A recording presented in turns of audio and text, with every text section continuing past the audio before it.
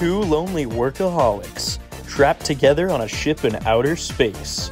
Too busy to find love back on Earth. Meet Hal. He's your typical highly intelligent supercomputer. Now, meet Dave.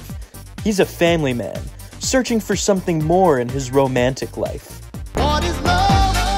Baby, don't hurt me. Don't hurt me no more. Sorry about this. I know it's a bit silly, but during the past few weeks, I've wondered whether you might.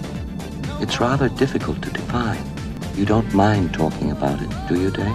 Although their love is a match made in heaven, Thank you for a very enjoyable game. nothing in life is perfect.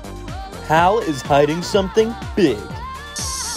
And I want to help you.